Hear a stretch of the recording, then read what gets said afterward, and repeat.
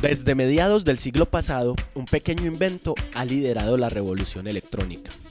Hecho de silicio, el segundo elemento más abundante en la corteza terrestre, el microchip se convirtió en el protagonista de los procesos de automatización.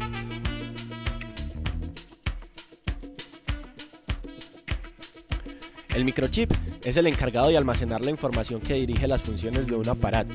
Con su invención, reemplazó a las válvulas o tubos de vacío que se usaban antes.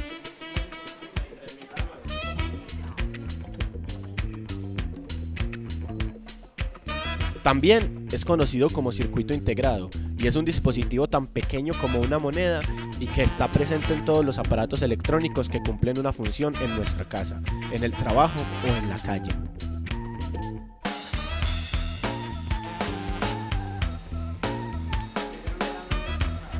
En 1958, el ingeniero Jack Kilby, después de recoger los saberes previos, le entregó al mundo el primer circuito integrado hecho de germanio que solo tenía un transistor.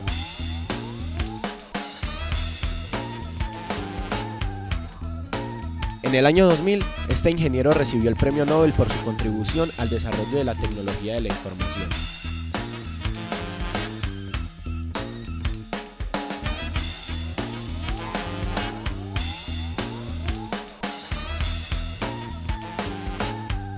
En la actualidad, los microchips más complejos son los microprocesadores, justo como esos que controlan nuestra computadora, la consola de juegos, también en el televisor en el que estás viendo versión beta.